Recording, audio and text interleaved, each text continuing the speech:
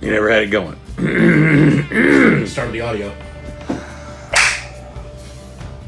This guy's crazy. Oh, yeah.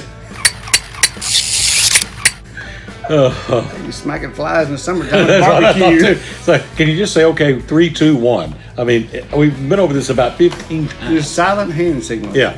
Three, two, one. Hey, everybody. Welcome to this week's edition of Driver slash Employee of the Week. I'm your PO'd co host, Eric Blankenship.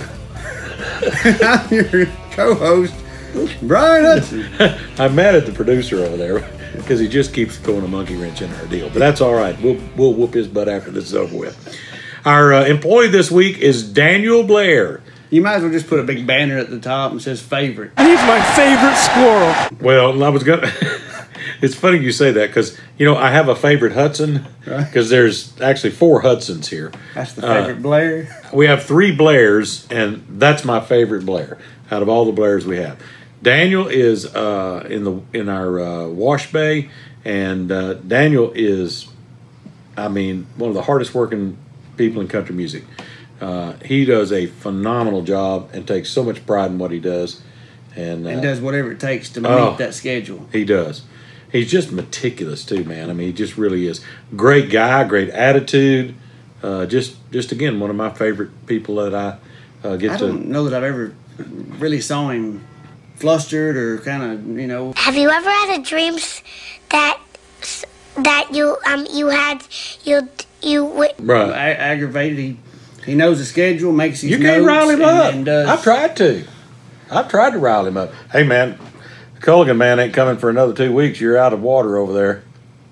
Right. And he just, he said, okay, no problem. I'll just fix it. I can fix that. I'll just wipe him down. I mean, he's, it, it- it's so neat. Like, but it don't, that didn't really happen. I, mean, I just Right, tried to right. rile him up. It, it's only like times that you you're out of town doing business or something. He looks ahead and goes, "Okay, now I need to do that vehicle right there." And I said, "Well, Eric didn't leave notes or mention it." He goes, "I need to get that one right there." It's like he just Maybe, he knows maybe, the pieces maybe of the you maybe you ought to take some notes from him, okay? Because if you would do stuff like that, don't tell him where you Sounds could okay. be. Yeah, hmm absolutely. Daniel, you are my favorite Blair. I appreciate everything you do. You're a hard worker. We're so honored to have you here at Mm-hmm. our company, and uh, we joke about lots of things, but I'm not joking about that. We are sincerely glad that you're here with us. And uh, maybe you got any cousins or brothers or somebody you could bring too? I mean, to do some of these other positions, maybe you know. I mean, fill in for somebody. You know what I'm saying? Anyway, my hair messed up. Don't touch the curls. They're delicate until they get their legs.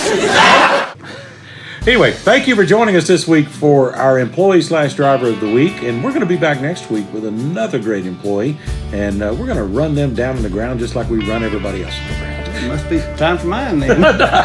No, we're not doing you. See you next week.